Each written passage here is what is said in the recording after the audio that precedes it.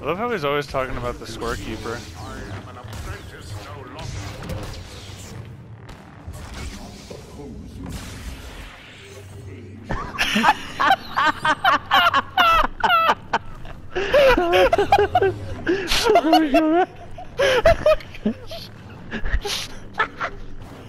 no too good, Greg. Oh my gosh.